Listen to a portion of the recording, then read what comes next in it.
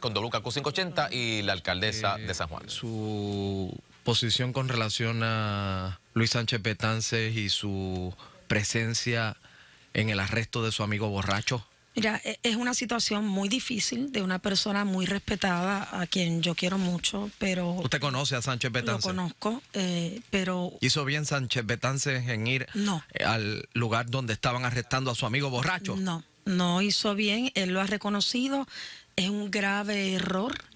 Eh, el gobernador tiene ahora que sopesar basado no en los rumores, sino en la información que él ha solicitado, pero ciertamente eh, el país sabe que no hay duda de que va a intervenir en su gestión futura. Ha sido un buen secretario hasta ahora, pero hay errores, Rubén, que se pagan.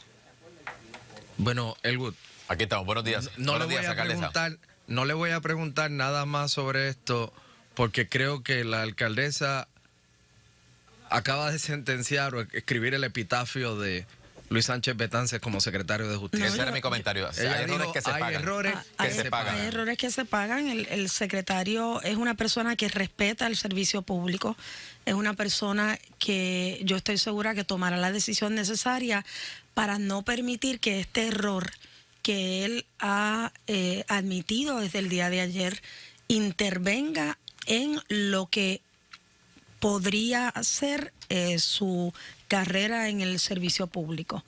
Eh, y lamentablemente son situaciones difíciles, pero hay errores que se pagan. En, Eh, en y- otras palabras, no debe quedar en, su- eh, las manos del gobernador, sino en sus propias manos. yo, creo que él, como persona que respeta el servicio público, como persona eh, prueba que es, como persona decente que es, va a tomar la decisión correcta de no continuar poniendo al gobernador en una situación difícil.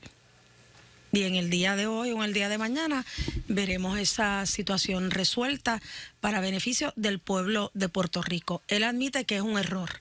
Ese error va a continuar siendo tema que va a descarrilar todos los esfuerzos que él ha hecho, esfuerzos loables como secretario de Justicia.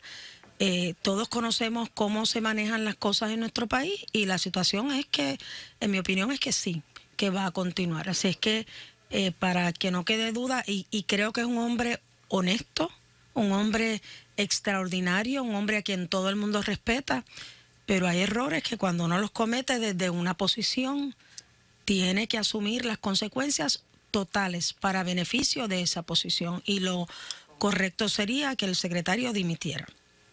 Wow. Bueno, Pues bueno, es, una ya- posición muy difícil para mí de asumir porque lo conozco, pero en el momento en que no hay duda y él admite que es un error, Mire, eh, eh, lo mejor sería que él tomara la decisión correcta para el pueblo de Puerto Rico. así es. mire, Bueno, perdóneme, eh, no tiene nada que ver, habiendo ya discutido este tema, no sé si Elwood tenga alguna otra pregunta sobre esto. Bueno, es en, que- en lo que se refiere a televisión, pues hemos culminado pues esta participación, así que a ambos le damos las gracias por estar con nosotros. Tu Muchas Mañana. gracias. Elwood, gracias por a ti, estar con gracias a nosotros. ti. Transmisión simultánea tu mañana con WKQ 580. Continuamos con noticias de Estado.